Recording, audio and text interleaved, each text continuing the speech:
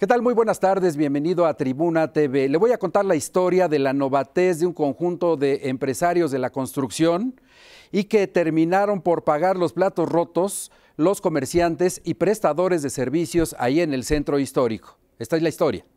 Desde hace dos meses los comerciantes de la calle 2 Norte en el centro histórico de Puebla no ven la suya.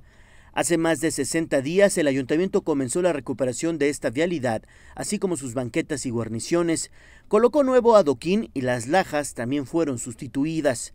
Pero esta semana, cuando la obra estaba a punto de concluirse, inexplicablemente los trabajadores comenzaron a destruirla.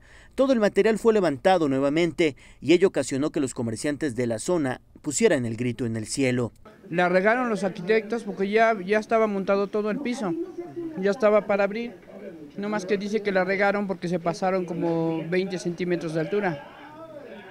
Y acá nos ha afectado lo, la renta, proveedores, los productos que salen del diario. Ya no lo hemos podido sacar bien y nuestros gastos están pero hasta el suelo. Incluso los pequeños empresarios han visto disminuidas sus ventas considerablemente.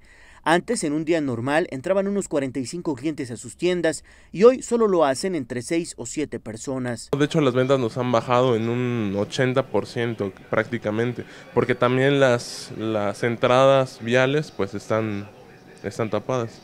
Luego de esta situación y ante el desperdicio de los recursos públicos, el secretario municipal de Obra Pública, Felipe Velázquez, explicó que esto se debió a que la obra fue mal ejecutada por la empresa encargada de su desarrollo y la comuna decidió no recibirla hasta que corrigieran sus defectos. Yo personalmente hice una supervisión la semana pasada y eh, definitivamente no era posible aceptar en esas condiciones, sobre todo el nivel, el nivel en el que se encontraba eh, la carpeta y la forma en la que estaban los, eh, el recibimiento de las alcantarillas de drenaje pluvial.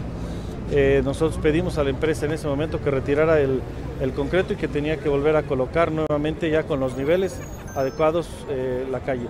Ahora, la empresa deberá corregir los errores en menos de dos meses y absorber el costo que esto genere. En un inicio, la inversión total de los trabajos estaba proyectada en 300 mil pesos. Con imágenes de Álvaro Morales, Leonardo Torija Cervantes, Sistema Informativo, Tribuna. Hasta aquí en este corte de noticias de Tribuna TV, les recuerdo seguir las cuentas de Twitter habituales, arroba Fermaldonado número 15, arroba Tribuna Medios, arroba P de Puebla y arroba Factory. Gracias por el favor de su atención.